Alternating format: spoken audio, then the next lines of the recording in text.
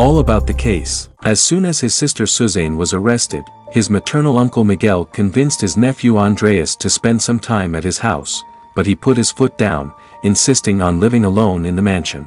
Among the arguments of the 16-year-old was that in two years he would be of legal age and would become the owner of the house and other assets left by his parents, valued at the time at $3 million, Miguel started to finance the housing of the boy, and Rinalva the family maid was kept in the mansion to assist him. Rinalva's relationship with Andreas was friendly for the first few days. The young man, however, took on the role of demanding boss and began to tease his only employee. He complained about the excess salt in the food, the cleaning and even t-shirts that he wanted to wear, but they were in the laundry basket for ironing. The final straw occurred in the third month of living with Rinalva. The maid was at home with her family when she received a call from Andreas. Ruff, accusing Rinalva of theft. Andreas had missed a perfume that was on top of his dresser. She was very angry about this situation. The next day, the maid stopped by Miguel's house and asked for the bills. During the period in which she had the stomach to work at the Richthofen mansion after the crime, Rinalva received three letters from Suzane, but never replied to them. With Rinalva's dismissal, Andreas was forced to live with his uncle Miguel, who had cut ties with Suzane since confessing to having had his parents killed. Before moving, the teenager went to Suzane's room, took his sister's teddy bear in which the 22 caliber Beretta he had been given by Daniel was hidden and took it to his uncle's house. The first conflict between Miguel and Andreas will occur later, precisely because of this weapon. The second clash between the uncle and nephew was fought because the boy decided to visit his sister in the penitentiary. Miguel refused to take him. Andreas decided to ask Amanda, Suzane's best college friend, for this favor. When she got a call from the boy, she remembered her friend's plea to take care of Andreas as if he were her brother and decided to take him to the penitentiary one Sunday morning. To get a password, the two had to get up early in a line with more than 500 people. Amanda and Andreas stood for over three hours.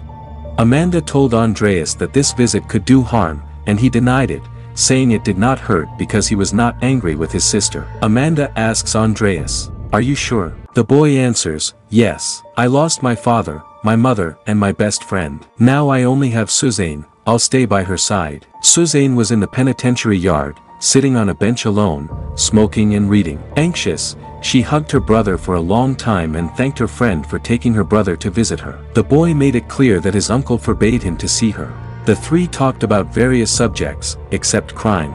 It was as if the tragedy hadn't happened. Andreas passed his sister a letter written by Daniel. In one of the passages, the pilot said that he kept in jail a daily struggle to preserve his sanity, he assumed he had tried on his life three times and that he was also being haunted by the ghosts of the Richthofen couple. Suzane wasn't moved, she put the letter in her pocket and started talking about the threats received inside the jail and the need to get out of there to prove her innocence. Suzane made it clear that she needed a good lawyer and that they were expensive. In other words, I would need money. Uncle Miguel said you'll rot in here with nothing, because you won't have the right to an inheritance, the brother argued. And what do you think about it? He is right. Do I deserve to die in here? I deserve it. Andreas lowered his head and didn't respond. Amanda broke that heavy atmosphere by bringing up another subject. At the end of the visit Suzane asked Andreas for the beretta given to him by Daniel. Where did you hide the weapon? I wanted to know Suzane. Inside your teddy bear. Take it out of there without Uncle Miguel noticing and a disappearance in it. If the police find you,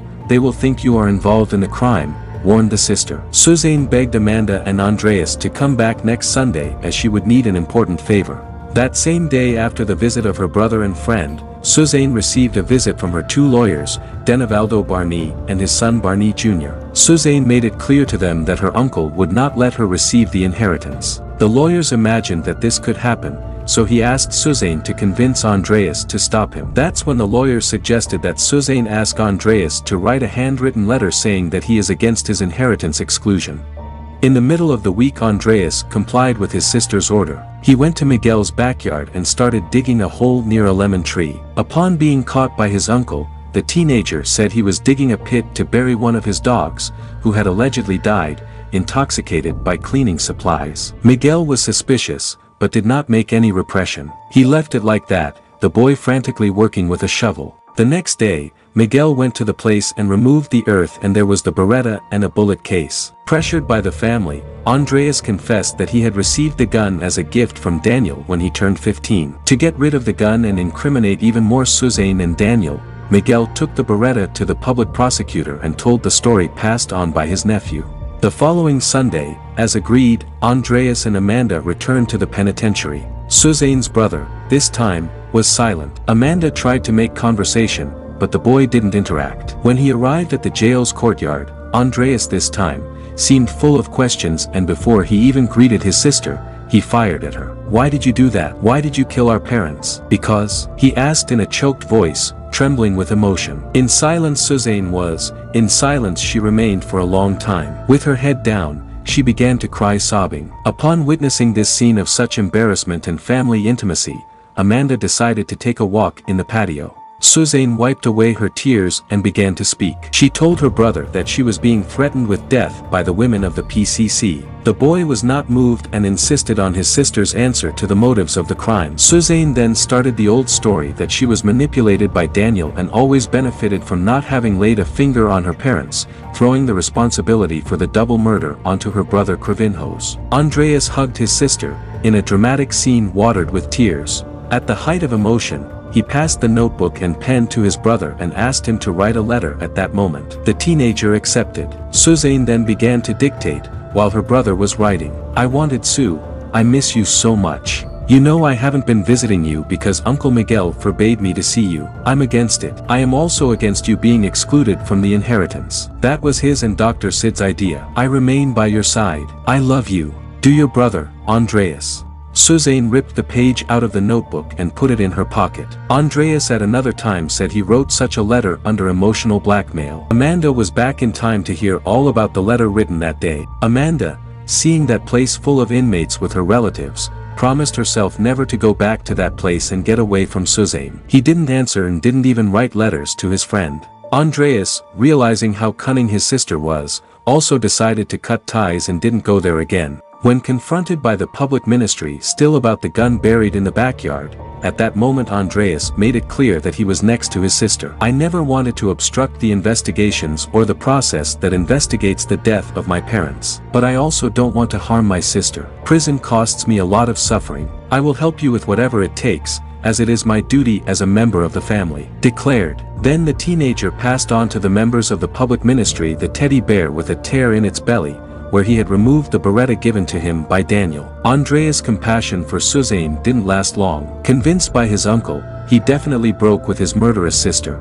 On August 27, 2004 Suzane received great news from her lawyers, claiming that the client did not pose a risk to society, her lawyers asked for a habeas corpus allowing Suzane the Grace to await the trial in freedom. With the benefit, the killer was free, light and free for nine months. On the 28th of the 7th of 2005 the famous prey leaves the penitentiary. Still without a period of freedom, but still free awaiting trial and, without money, Suzane began to charge her share of the inheritance from the family. She insisted on inventorying everything that would have been left by her parents. The first step was to make a list of everything inside the Richthofen mansion. Suzane would have labeled furniture, appliances, rugs, pillows and even cutlery and cups, claiming that all the crockery in the house was imported. Afraid of being stolen, the blonde photographed the pictures on the wall. Indignant with his niece's boldness, Uncle Miguel decided to enter with an interpellation.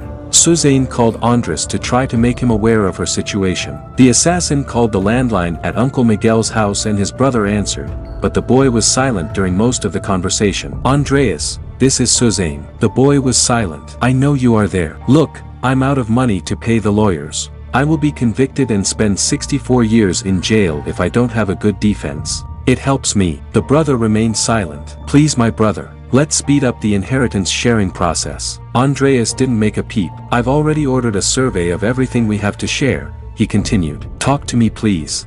I love you. I love you. I love you. Let's meet to talk about inheritance, please. I'm going to stop by at Uncle Miguel's house tonight. Upon hearing the announcement of this visit, Andreas decided to speak to his sister. I am afraid of you. Hurt. Fear. He responded by slamming the phone in Suzane's face.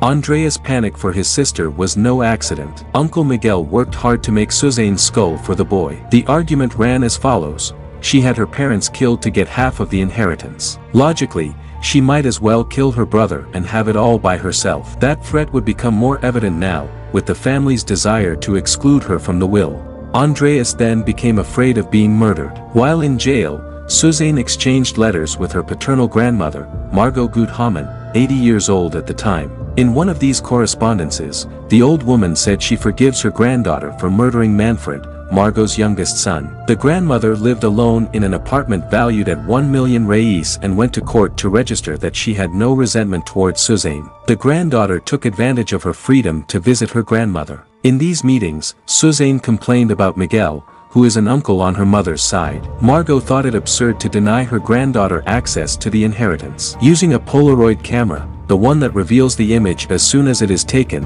Suzane took several photos of her face with her grandmother and took them with her. The next day, Andreas arrived from class and, as he got off the school bus, he saw a car with tinted windows near Uncle Miguel's house. He was walking along the sidewalk and the car was approaching. The boy quickened his steps and the vehicle increased speed to catch up with him. Andreas ran and the car lurched forward, braking sharply in front of him. Suzane, laughing, rolled down the window and revealed herself behind the wheel. The boy ignored her and went into the house. Alone, he went to the kitchen to get a glass of water to recover from the shock. As he approached the refrigerator, Andreas felt chills. Suzane had entered the house and had nailed a photo with her grandmother Margot to the fridge door with a magnet. In a panic, the teenager called his uncle and the two went to a police station to register the report alleging that Andreas was being threatened by his sister. Suzane was then prohibited, by a restraining order, from contacting her brother. The following week, Andreas went to court to definitively exclude Suzane from the will, claiming that Loira killed her parents for financial reasons. The teenager won the lawsuit and ended up inheriting all his parents' assets alone. Suzane never saw Andreas again. Many years later, on the outing in May 2017, Suzane received a mysterious message on her cell phone. Hey, how's it going? Everything in you? Answer me she. Everything's good. Tell me something. Are you who I'm thinking? It depends. Who do you think I am? Who am? I won't name names, wrote the other person. If you have my cell number, you must know who I am. Replied Suzane. I have doubts. I will ask a question. If you get the answer right, you are who I am thinking of. So do it. What's the name of the little dog we had when we were kids? Suzane was walking through the streets of Angatuba and was shocked when she discovered that her brother, Andreas, was on the other side of the cell phone. The attempt at rapprochement between the two was first revealed by Epoca magazine, in October 2019. Suzane and Andreas set up a meeting 15 years after they had last met, in the courtyard of the capital's women's penitentiary, when she manipulated him to write a letter and thus conquer half of the parents' inheritance.